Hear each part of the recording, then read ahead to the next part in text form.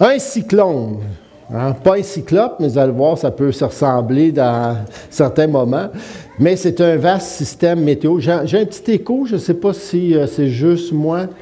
C'est. Euh, j'ai déjà de la misère à, m'écouter. Donc, un cyclone, c'est un vaste système météo qui prend forme dans les océans. Hein, qui, la plupart des ouragans, des tempêtes naissent dans les océans à partir d'une perturbation qui s'organise donc en dépression, puis ensuite euh, en tempête et son stade final est connu sous divers noms à travers le monde, dépendamment dans quel océan euh, ces tempêtes originent. Donc, euh, on l'appelle ouragan dans l'Atlantique Nord et le Pacifique Nord-Est, un typhon en Asie de l'Est et un cyclone dans les autres bassins océaniques, et peu importe, c'est dévastateur comme système, peu importe le nom qu'on leur donne.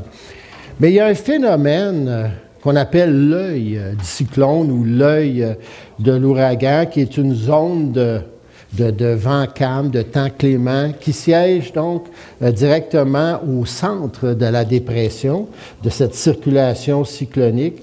Et c'est comme un, oasis, voyez-vous, au, milieu des éléments déchaînés et euh, si vous étiez dans une embarcation juste là, dans l'œil de l'ouragan, vous pourriez voir le ciel bleu, c'est la nuit, les étoiles, puis vous vous sentez comme hein, dans, un temps pratiquement normal.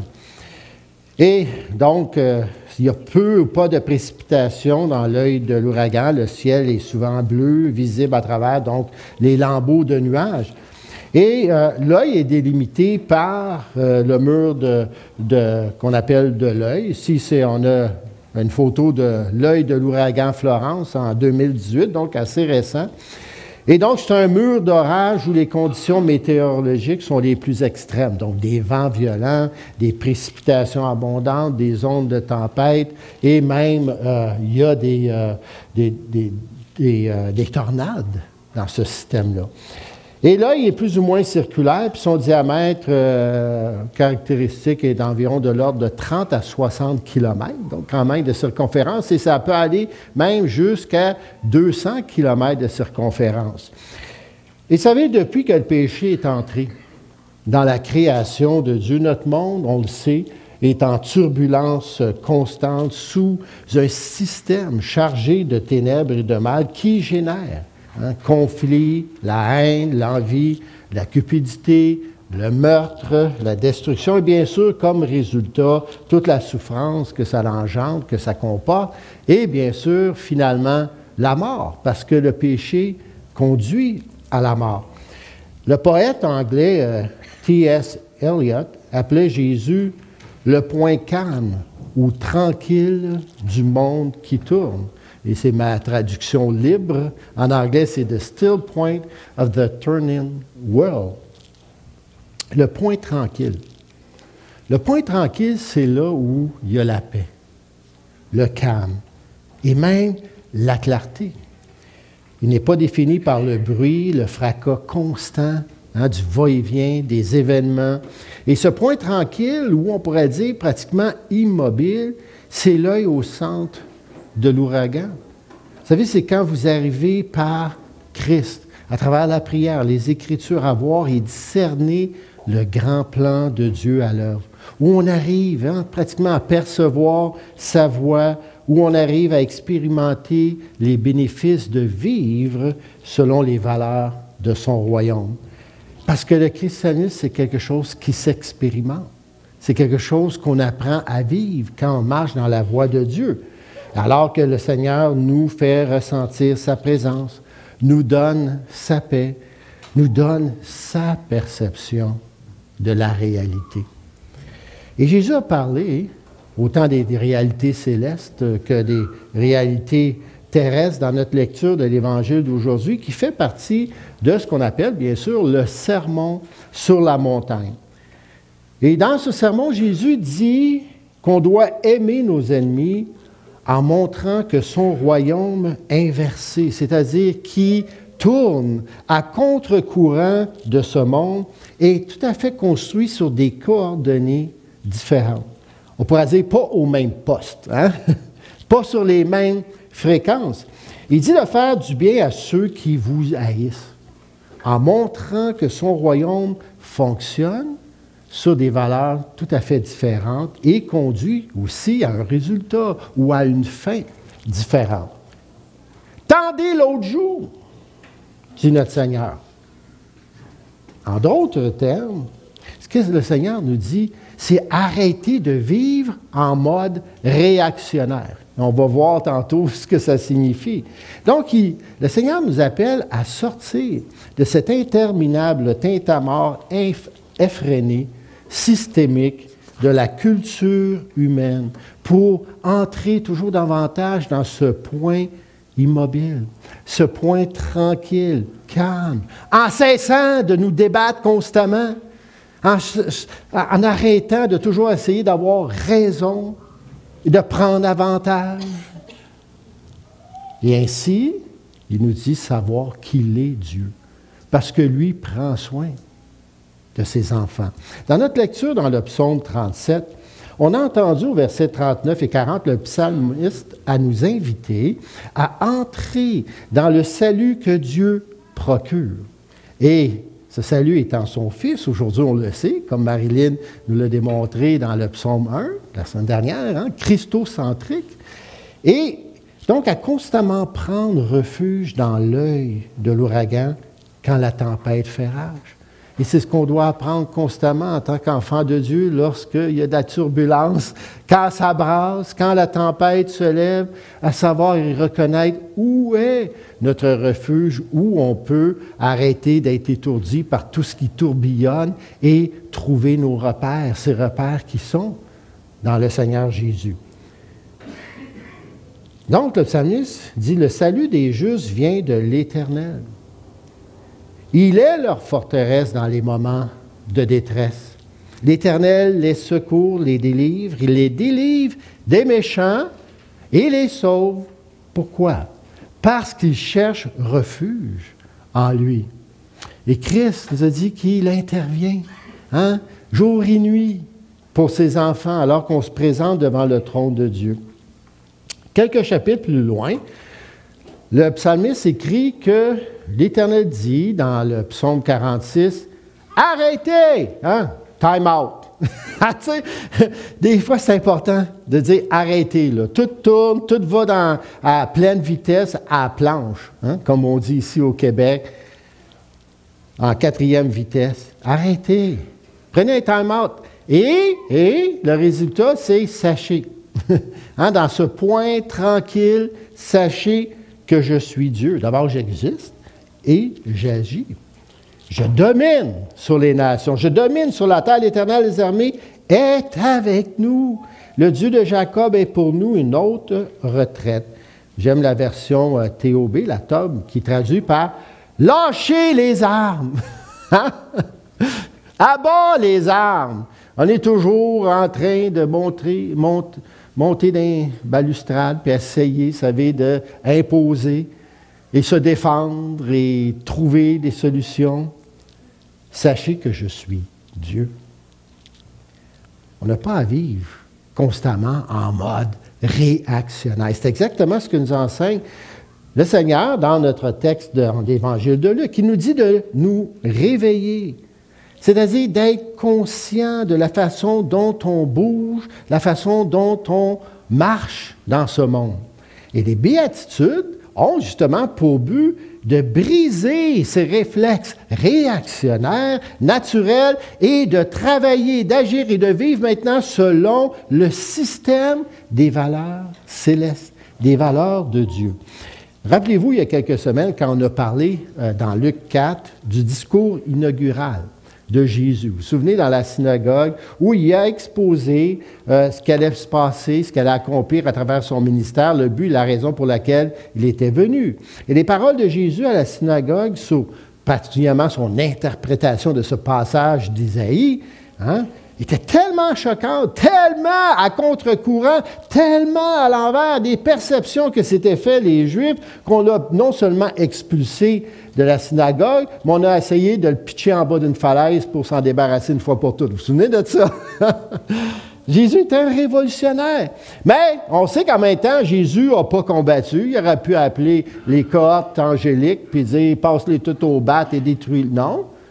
Tout ce que ça dit, c'est qu'il aura littéralement filé entre les doigts. il est là, mais il n'est plus là. Et Jésus n'a pas mis de l'huile sur le feu. Ensuite, non seulement Jésus a dit que ses paroles étaient accomplies en lui, ce que dit, on va lire ce que le, prophète Isaïe écrit. Ces paroles, Jésus les prend et on va, comme il se les attribue. L'Esprit du Seigneur est sur moi, donc c'est ce texte qu'il lit dans la synagogue, parce qu'il m'a oint pour annoncer une bonne nouvelle à qui? aux pauvres. Et il m'a envoyé pour guérir qui? Ceux qui ont le cœur brisé, pour proclamer aux captifs la délivrance, aux aveugles le recouvrement de la vue, pour renvoyer libres les opprimés, pour publier une année de grâce.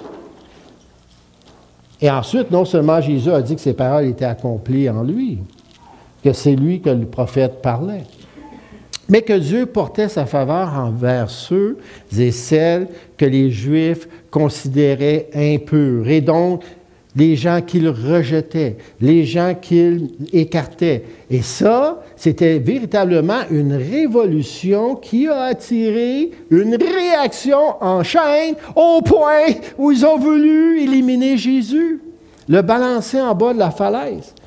Et mon sermon d'aujourd'hui s'inscrit donc dans la continuité de ce thème et de notre participation au ministère de Jésus, parce qu'on est appelés, nous aussi, comme on l'a vu la dernière fois, à être des pêcheurs d'hommes, à participer dans le ministère continuel de Christ. Mais tel que le Seigneur lui-même l'a souligné à travers ce passage d'Isaïe. Et le thème principal de Luc, si vous avez remarqué, vous avez lu Luc récemment, c'est celui des pauvres. Tendre la main aux pauvres, soutenir les pauvres, leur donner une voix. Mais la définition du mot pauvre, c'est beaucoup plus large que ce à quoi on est habitué. Pauvre ne se réfère pas seulement à ceux qui ont des difficultés financières, mais se réfère à quelqu'un qui est mis à l'écart, quelqu'un qui est ostracisé, qui est dans la marginalité. Et les personnes et à l'époque de Jésus, qui avaient des besoins spéciaux, des handicaps, étaient considérés comme pauvres. Ceux qui avaient une infirmité étaient considérés comme pauvres. Les prostituées même étaient considérées, rentraient dans la catégorie de pauvres. Même les percepteurs d'impôts qui nageaient dans le cash, dans l'argent, ça leur sortait par les oreilles, étaient vus comme pauvres. Pourquoi? Parce qu'ils étaient considérés comme des traîtres à leur propre nation, qui magouillaient avec les Romains et qui prenaient des Juifs l'argent, les taxaient. Et donc, ils ne pouvaient avoir aucune relation avec la communauté juive. C'étaient des traîtres. Ils étaient ostracisés, mis à l'écart. Et ainsi, dans cette première partie de Luc, on voit Jésus qui se tient avec quelle gang? Avec quel genre de personnes? Avec des gens, comme on vient de le définir, dans cette catégorie de pauvres. Ce qu'on voit ici, c'est vraiment typique de Luc. Luc parle de Jésus comme d'un révolutionnaire. Un révolutionnaire, bon, il était fidèle, on le sait, c'est le seul fidèle. Il y en a un autre dans, dans de Charlebois, qui est un révolutionnaire, c'est fidèle, mais un petit peu plus au sud de nous, qui nous a quittés.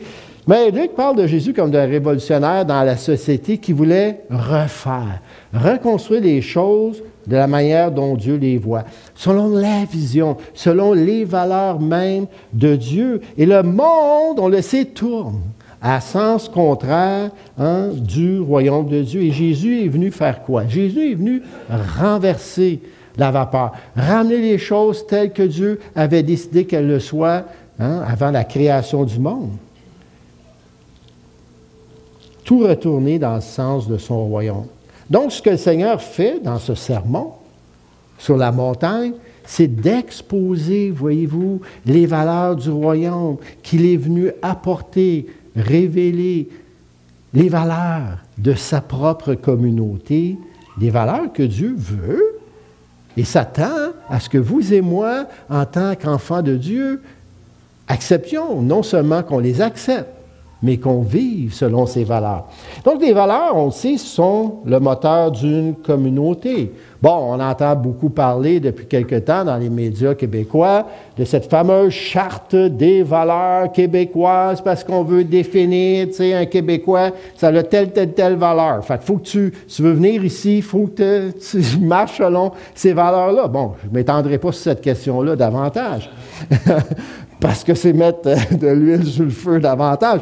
Mais elles s'enlignent, ces valeurs, en général, conformément à notre vision du monde, comme on l'a vu lors de notre célébration Vie dans le Fils cet automne, ceux et celles qui étaient là, on a parlé de cette vision du monde. Et ce sont les valeurs qui nous amènent à prendre certaines décisions et faire des choses d'une certaine façon. Ce sont sur ces valeurs-là, que ce soit conscient ou inconsciemment, qu'on vit notre vie. Et les valeurs du royaume, c'est les valeurs auxquelles le peuple de Dieu va consacrer son énergie. On va mettre plus d'accent là-dessus, on va mettre euh, du temps, on va mettre plus d'argent sur ces valeurs-là.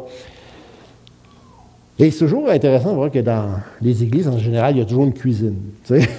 parce, parce qu'on aime ça, hein, communier, manger ensemble et passer du temps ensemble. Et ça, on peut dire que ça peut faire partie d'une valeur. Mais ce n'est pas en même temps, ces valeurs-là, des règles à suivre pour être bon, mais c'est un portrait de ce que ça signifie, en fait, d'être euh, du peuple de Dieu. Ce sont ces valeurs qui doivent nous diriger, nous animer. Et donc, le sermon sur la montagne est au sujet d'entrer dans ce point tranquille, l'œil de la tempête, c'est-à-dire sortir de ce système tempétueux, orageux, Hein? agité, houleux, mouvementé, violent et destructeur du monde. Qui marche selon quel principe? Selon le principe de œil pour œil, dent pour dent, tu m'as fait mal, ben tu vas en manger une bonne ou tu vas souffrir, tu vas passer au bat. Tu m'as insulté, alors je t'insulte à, mon tour. Hein? Par la bouche de mes canons, je te répondrai. tu m'agresses, ben je t'agresse aussi. Tu as une dette envers moi, je te poursuis en justice. Hmm? Mais les valeurs du royaume nous éloignent de cette manière de vivre et de réagir. Ils nous amènent à ce point tranquille et paisible, justement en nous faisant sortir de ce cycle tempétueux, destructeur du monde qui tourne avec puissance et s'alimentant à plein vous savez, de haine, d'agressivité, selon les principes qui régissent ce monde.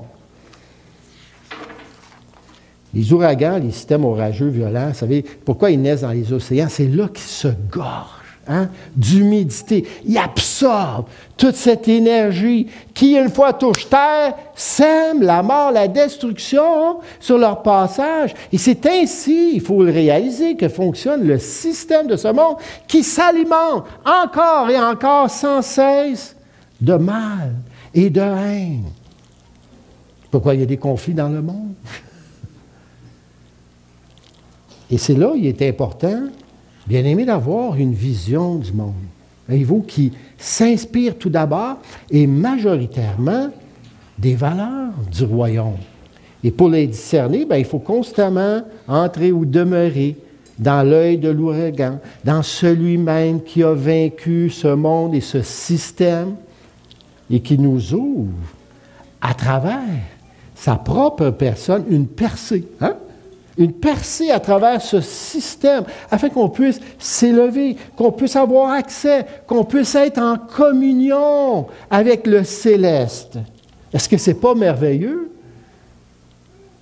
Oui, il y a un accès dans ce monde, puis souvent on se plaint, ça va du mal dans le monde, ça va mal dans le monde, ça, va oui, ça va mal, Il n'y a rien de nouveau. Mais aujourd'hui, on a des médias, non seulement pour nous dire ce qui se passe, mais avec les fake news, nous disent des affaires qui ne se passent pas vraiment, mais qui vendent. Hein? Ça fait vendre.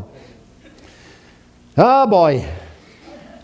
Colossiens 3, verset 1. Paul nous écrit, il dit, Mais vous êtes aussi ressuscités avec le Christ. C'est une réalité. Donc, puisque c'est le cas, hein, entrer dans l'œil de l'ouragan, c'est-à-dire rechercher les réalités d'en haut, là où se trouve le Christ qui siège. À la droite de Dieu et de toute votre pensée, tendez vers les réalités d'en haut, non vers celles qui appartiennent à la terre, c'est-à-dire tendez pas au système en place de ce monde, mais soyez dirigés par le système, les valeurs du royaume. Ça fait-tu du sens?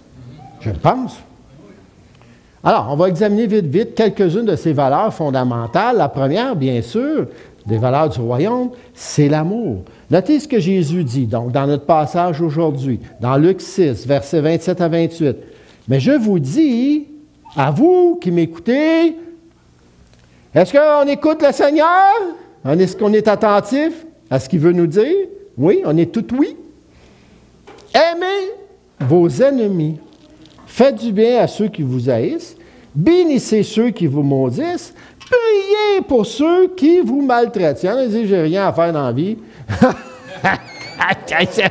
Une bonne liste d'épicerie ici, là. Mais en même temps, il faut faire attention parce qu'il ne dit pas oh, sentez-vous tellement bien par rapport à vos ennemis. Tu sais? Aimez ce que vos ennemis vous font. Trouvez ça cool. Non. C'est pas cool. Il ne pas considérer vos ennemis comme oh, des gens tellement fantastiques. Ce hmm? C'est pas du tout ce qu'il dit. Ce qui nous commande dans ce prochain groupe de phrases, en fait, c'est relié à cette première valeur et alimenté par cette valeur du royaume qui est l'amour, et c'est l'action. L'éternité, ça ne sera pas végétatif. On ne sera pas plugué sur un tuyau pendant l'éternité.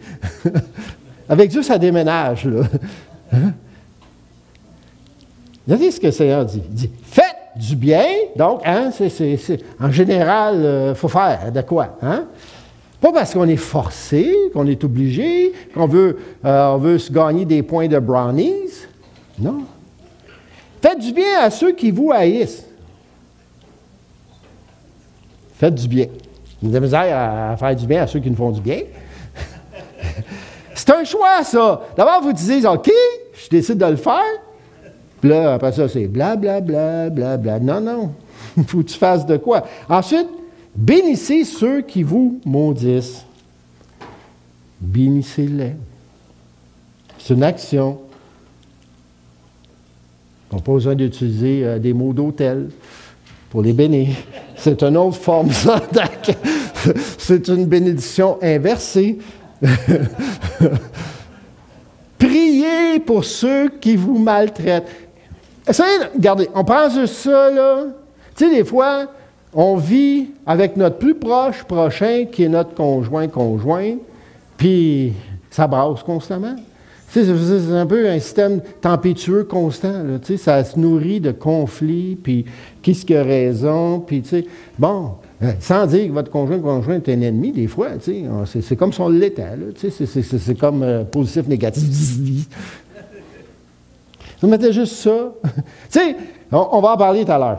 Je me devance, là, mais on va, revenir, euh, on va revenir à ça. Regardez ça là, dans, pas trop loin de vous. C'est ça.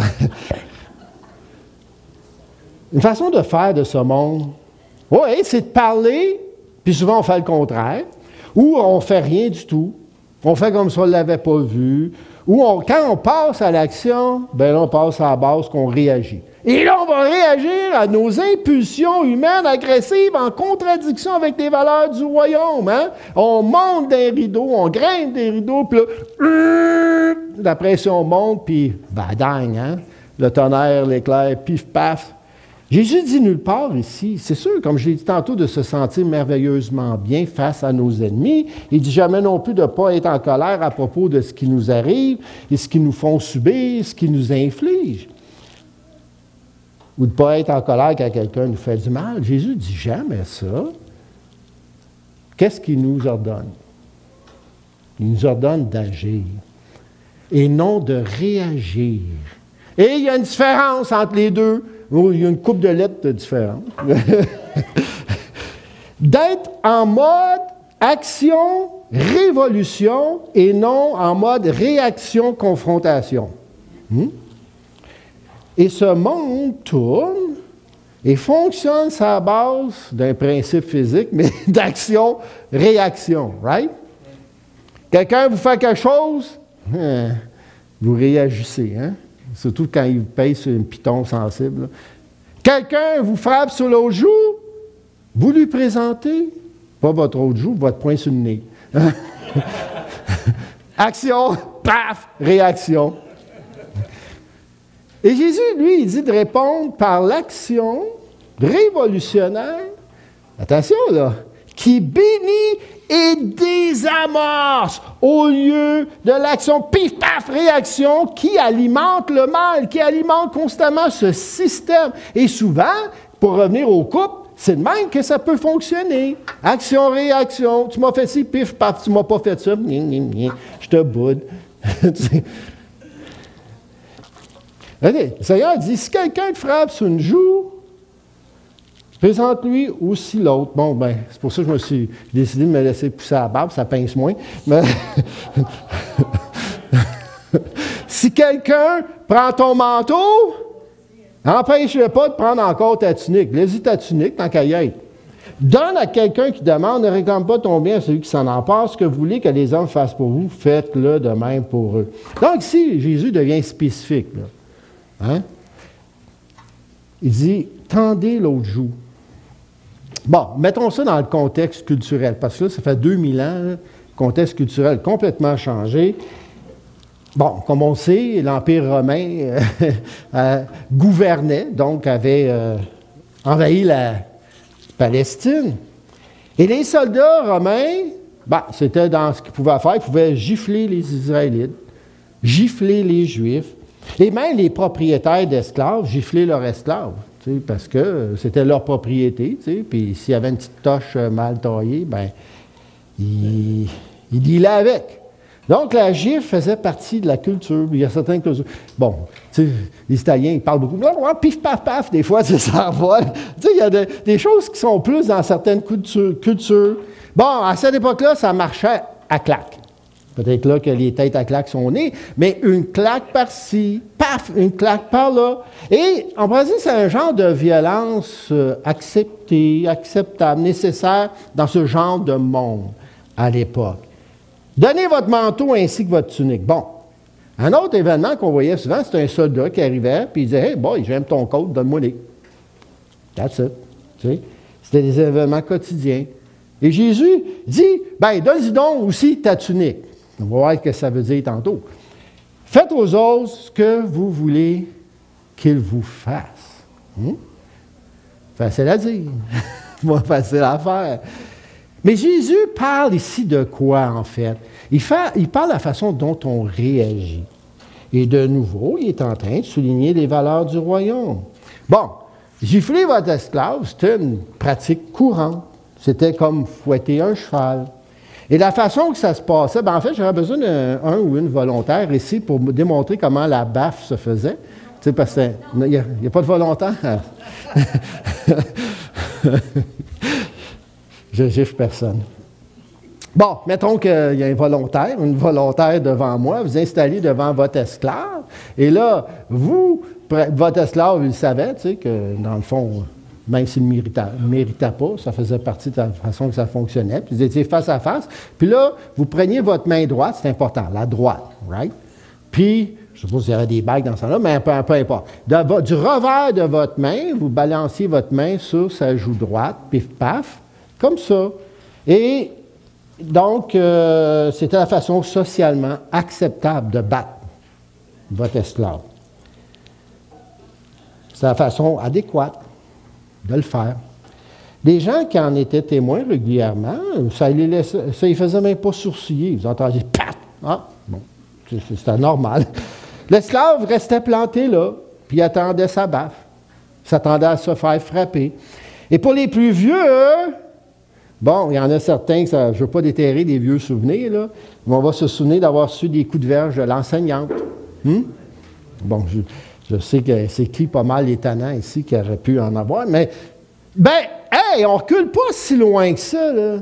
C'était acceptable à l'époque Et en ce temps-là, c'est que, bon, vous aviez reçu manger des coups de règle, mais là, l'enseignante vous écrivait une note pour vos parents, comme quoi vous aviez été tannant, puis rendu à, la maison, vous mangez un bon, la strap. aujourd'hui, c'est comme, il arrive de quoi avec notre enfant, les parents débarquent à l'école, puis euh, ils veulent mettre tout le monde dehors parce que leur enfant roi a tellement raison. Ah, Mais en même temps, ça ne serait pas du tout acceptable. Je ne sais pas que votre enfant ait mangé un coup de règle à l'école. Hmm? Jésus nous dit de tendre l'autre joue. C'est pas, si tu l'autre joue, est-ce que vous pourriez, s'il vous plaît, me gifler d'une manière acceptable, comme il est convenable dans cette société? Non, ce qui ressort ici, il faut, être conscient de ce qui se passe. Il faut être conscient de la situation, de, des circonstances. Et donc, quand vous montriez votre autre joue, comme Jésus dit, vous insinuez que ce serait euh, euh, un code spécial de cruauté qu'on vous gifle à nouveau. Ce qui est acceptable, c'est une fois, pour des raisons particulières. Là, vous tendez l'autre, et en tant que membre du peuple de Dieu, donc, qu'est-ce que vous faites en tendant l'autre joue? Vous exposez l'injustice dans cette société. Vous exposez que cette relation maître-esclave n'est pas ce à quoi ressemble le royaume, ni comment les choses devraient censées être. Et on sait que par le christianisme, on a fini par vaincre l'esclavage. Donc, Jésus, par votre propre sacrifice, vous, vous tenez, vous aussi, comme révolutionnaire contre la violence acceptable et acceptée dans cette société. Et c'est ce que Jésus a fait. Maintenant, qu'est-ce qu'il y en est du manteau puis de la tunique?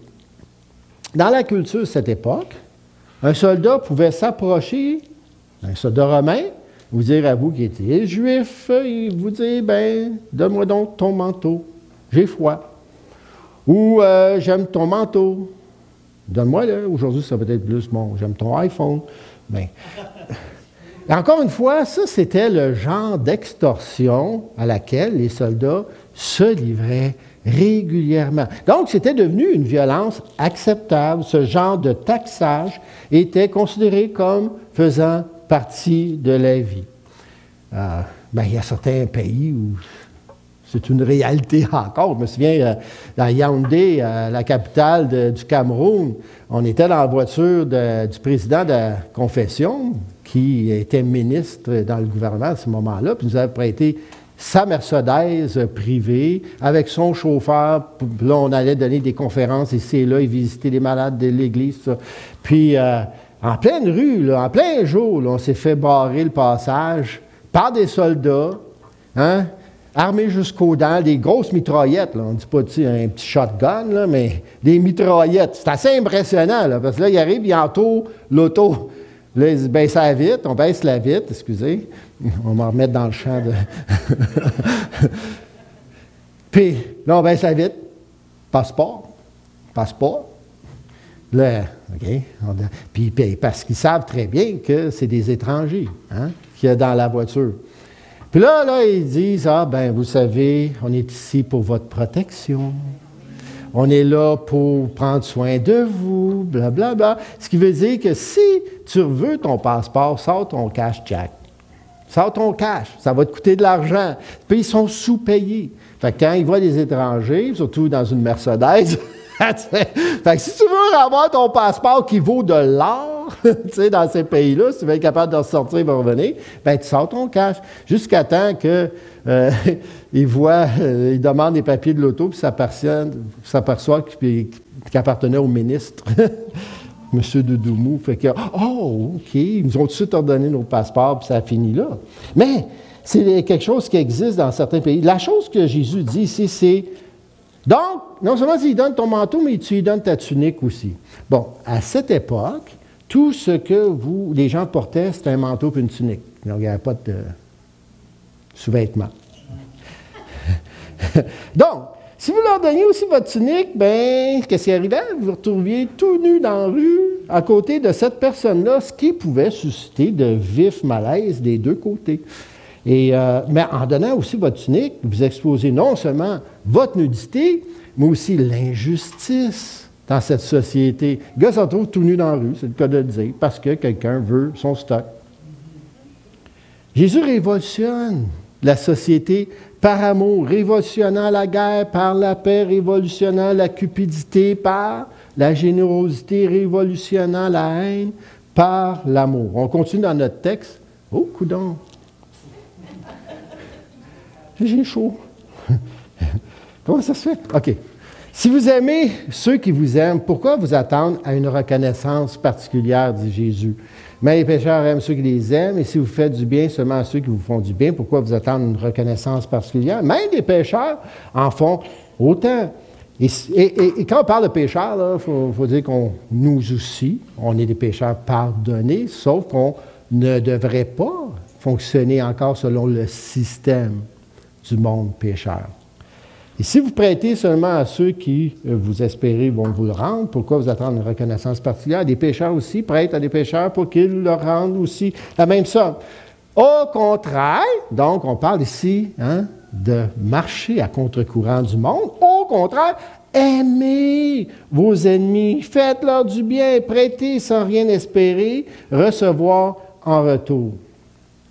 Vous obtiendrez une grande récompense et vous serez les fils du Dieu très haut, car il. Notez. OK, on veut parler de valeur de Dieu, comment Dieu fonctionne. Il est bon pour les ingrats et les méchants. Soyez pleins de bonté, comme votre Père est plein de bonté. Qu'est-ce que Jésus dit ici? Encore une fois, il nous rappelle ce système tumultueux et tempétueux, constamment en mouvement, chargé d'électricité négative, de haine, de sentiments agressifs, de la cupidité, des sentiments autoprotecteurs qui fonctionnent et s'alimentent constamment sur la base réactive du tic au tac. Hein? Genre, tu m'as fait souffrir, je te fais souffrir. Tu m'en dois une, je vais t'en donner une bonne, tu vas voir. Tu m'offenses, je vais t'anéantir. Ou même, je vais te gratter le dos si tu me grattes le dos d'abord. Le problème central de ce système, de ce monde, c'est un mot latin, on pourrait le définir, le quid pro quo, qui signifie quelque chose pour quelque chose. Hmm? En échange de quelque chose, quelque chose contre quelque chose. Il y a toujours quelque chose contre quelque chose, hmm? pour quelque chose. C'est coup pour coup, œil pour œil, dent pour dent, tic au tac, peu importe comment vous l'appelez.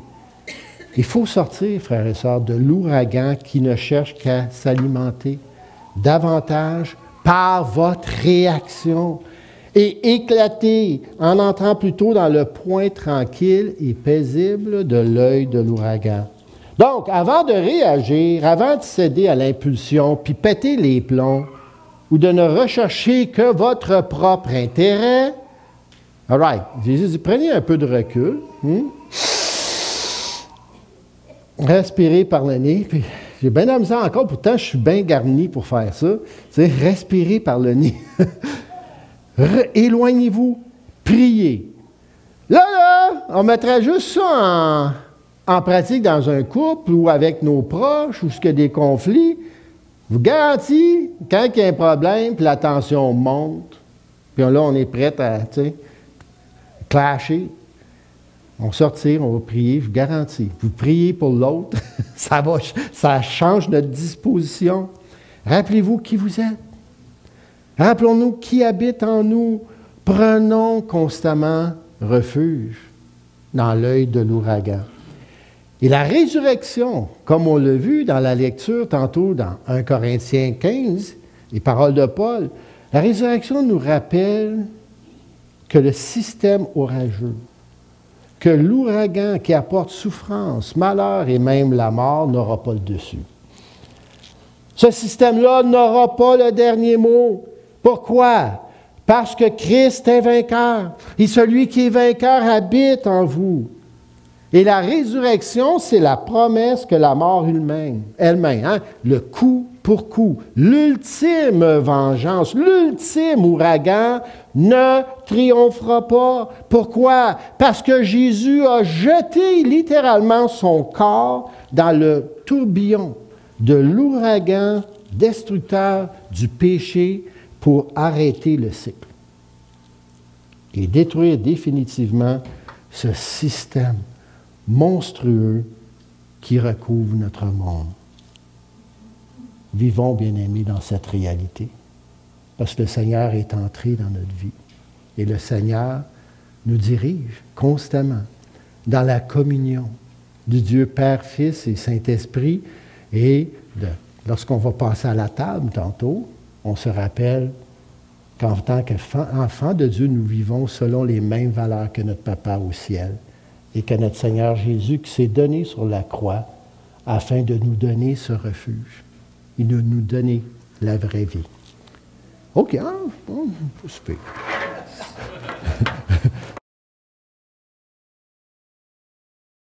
J'aime bien les paroles à nouveau. Je regarde à la croix où tu es mort. Et lorsqu'on parle euh, d'avoir la bonne vision du monde, c'est là que ça commence. Et on a besoin régulièrement de se faire euh, réenligner, comme quand on va chez l'oculiste, se réenligner le focus. Et c'est ce que la table du Seigneur a compris. Et euh, trois points rapides en préparation au repas du Seigneur en, lien avec les paroles du Seigneur dans le texte de l'Évangile ce matin, dans Luc 6. La table nous enseigne, entre autres, ou la voix du Seigneur à devenir un genre de paratonnerre hein, dans ce système orageux qui attire la foudre. Hein? On attire cette foudre quand elle vient à nous, même si on ne l'attire pas. Qu'est-ce qui arrive quand, avec une mise à la terre, dans le fond, la foudre, au lieu de créer des dommages, hein, elle est envoyée dans le néant. Et si vous entendez que ce soit une rumeur, une calomnie, laissez-la mourir en vous et avec vous. Il faut que ça finisse là. Et ça, c'est en accord avec le commandement du Seigneur, n'est-ce pas, de porter notre croix, de mourir à nous-mêmes, et c'est tellement plus facile de réagir, hein? œil pour œil, dent pour dent. Mais mourir à nous-mêmes, c'est ça. C'est de cesser de vivre en mode réactionnaire. Et lorsque de gros nuages ténébreux chargés de haine et d'injustice couvrent les pensées, ben, on est appelé à faire euh, briller la vérité. Et comment on fait ça? Ben, par des actes de sacrifice, d'abnégation, puis des fois, quand on laisse passer, qu'on aurait pu dire de quoi, puis de quoi pour mettre l'autre à sa place, puis la rabaisser. Non. Le Seigneur dit, élevez votre prochain au lieu de le rabaisser. Vous êtes offensé par quelqu'un? Absorbez l'attention, comme je disais tantôt, respirez par le nez, reculez-vous, priez, bénissez. En étant celui, celle, où s'arrête cette réaction en chaîne. Parce qu'on sait que c'en est une. Hein? C'est comme un effet de domino, une petite affaire, puis ça peut aller très, très loin. Un autre point à réfléchir euh, alors qu'on se présente à la table, c'est quoi la violence acceptable dans notre société? Parce que Jésus, comme on l'a vu dans notre texte ce matin, interpelle cette société sur sa violence acceptable à l'époque où il a marché sur cette terre et dont Jésus a dénoncé ici, entre autres, gifler les esclaves, voler des manteaux, des tuniques, forcer l'autre à transporter votre équipement. Ces choses étaient considérées comme acceptables par la société à l'époque de Jésus. Et vous savez, il s'est passé beaucoup de souffrances. Il y en a coulé de l'eau sous les ponts avant que ces choses ne deviennent maintenant inacceptables. Alors, ma question pour nous ce matin, c'est quelle est notre violence acceptable maintenant? Quelles actions considérées comme acceptables dans la société sont inacceptables pour les enfants de Dieu? Et donc, comment nager à contre-courant, à vivre selon les valeurs de Dieu? Quelles sont les choses auxquelles on devrait être sensibilisé? Parce s'approcher de la table, c'est dire à Jésus, oui, tu es le Seigneur. C'est toi qui me montres la voie et je veux marcher dans tes voies. Est-ce que ça nous arrive des fois d'exclure quelqu'un de notre cercle social, faire sentir l'autre comme un minable, de la rabaisser? Le commérage. hein? Ouh, de résister à des faits juteux, ou au moins, tu sais, puis dire, ah ouais, je savais pas ça. Hein? On, nomme ça au prochain, puis c'est comme euh, le jeu du téléphone, ça finit par euh, devenir énorme. Et tout est, sort tout croche. Partager des potins ou même des fake news, parce que des fois, on, clique puis on transfère de quoi, puis c'est faux, là. Est-ce que vous avez vérifié les faits avant? Aujourd'hui, c'est acceptable de faire ça. Puis même si c'est de la calomnie, ça peut détruire des vies, se répandre. Vous savez, partager des publications haineuses et diffamatoires sur les réseaux sociaux. Des fois, je vois des choses passer qui sont transmises par des membres. Hein?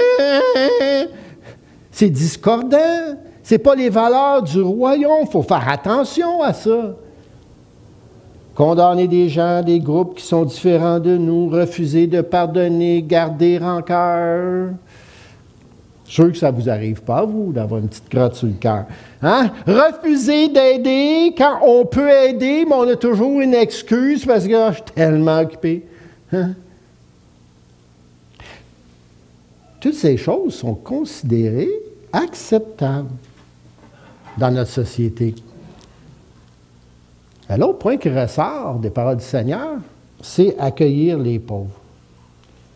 Jésus commence son ministère dans Luc par son discours inaugural sur les paroles d'Isaïe en disant qu'il est là, lui, pour hein, laisser libre entrer, accueillir les aveugles, les prisonniers, les opprimés, les pauvres.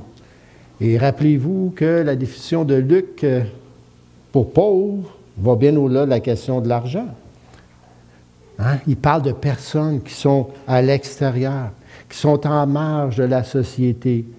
Puis, s'il nous arrivait ce matin un itinérant, une itinérante ici qui sent pas bon, puis tout, on va dire euh, attendez donc droit, s'il vous plaît. Hein? Comment on va traiter? Est-ce qu'on regarde ailleurs quand on voit ces gens-là? On connaît tous des gens qui ont plus d'argent, plus de cash, plus de biens que n'importe lequel d'entre nous, puis même euh, tout le monde combiné ensemble. Et pourtant, et pourtant, ils sont pauvres. Ils sont pauvres dans leur esprit, ils sont pauvres de cœur, ils sont malades de solitude. Et combien il y en a des gens comme ça dans notre société? Qui attendent juste qu'on leur tende la main devant leur façade, vous savez, où ils imposent et tout le monde, cette personne-là, pas de danger que j'y adresse la parole. Et pourtant, si on faisait l'effort, probablement, vous savez, que ces gens-là craqueraient. Il y a une carapace, vous savez, mais Jésus peut venir à, à bout de carapace. Alors, comment est-ce qu'on peut accueillir ce genre de personnes-là? Comment accueillir ceux qui n'ont pas l'air de ce qu'ils sont censés être?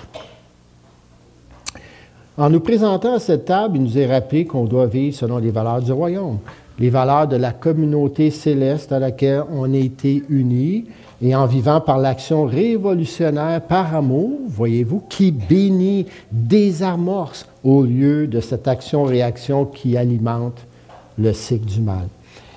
Quelques pages plus loin, bien sûr, dans le récit euh, de l'évangile de Luc, on sait que Jésus est allé donner sa vie sur la croix pour arrêter ce cycle, pour renverser ce système orageux destructeur du péché et du mal qui sème la destruction et la mort en devenant justement dans son propre corps, dans sa propre personne, le point le plus tranquille et paisible du monde qui tourne le point tranquille, le point du shalom de tout l'univers.